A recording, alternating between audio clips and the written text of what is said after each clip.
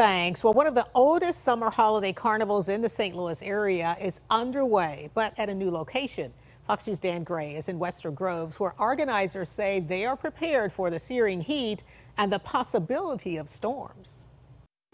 Two words, Lions Carnival. Pretty much everybody in the Webster Grove Shrewsbury area know what you're talking about.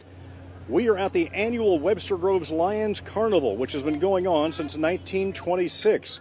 There was no carnival one year because of the pandemic.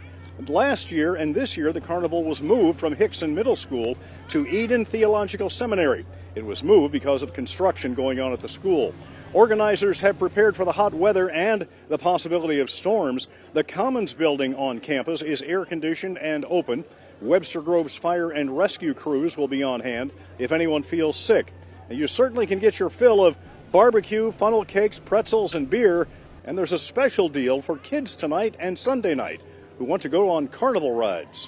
Tonight is an um, all-you-can-ride wristband. It's $25 and starts at 5, goes till 11, and it's an unlimited ride. So you pay a wristband, and it's uh, parents can use them if parents are going to ride. They'll have to buy a wristband. The Webster Lions Carnival runs every night 5 to 11 Friday, Saturday, Sunday, and 4th of July, Monday as well.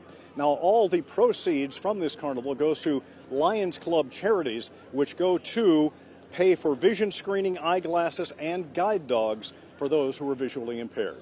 In Webster Groves, Dan Gray.